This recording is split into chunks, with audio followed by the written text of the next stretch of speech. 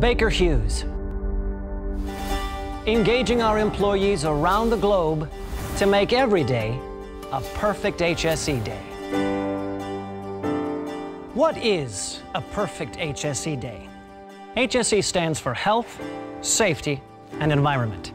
And at Baker Hughes operations around the world, when all employees go home safely to their families at the end of the day, and there are no recordable injuries or illnesses, motor vehicle accidents, or serious environmental spills, that is a perfect HSE day. This Baker Hughes commitment isn't communicated with complicated metrics or confusing acronyms. The measurement is distilled to what's most important the number of perfect HSE days we've achieved. Just one simple number is all any employee around the world needs to know to connect his or her personal safety and work performance with the ultimate goal of making every day a perfect HSE day. Baker Hughes regional operations span the planet, creating a robust network that operates with purpose and efficiency. As our interdependent safety culture grows, the Perfect HSE Day program enables our Baker Hughes team to work in close concert with one another, with a strong focus on the environment.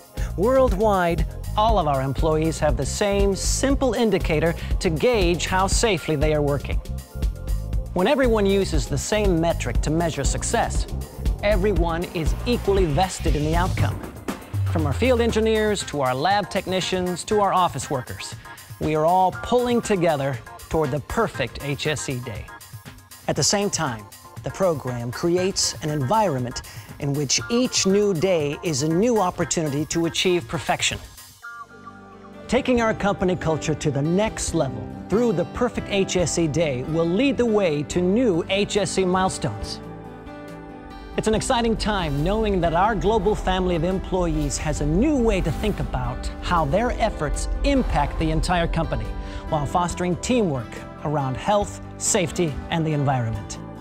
And when we all pull together as one, we can achieve extraordinary outcomes, even a perfect HSE day. Everyone goes home safe, no motor vehicle accidents, and the responsible stewardship of our environment.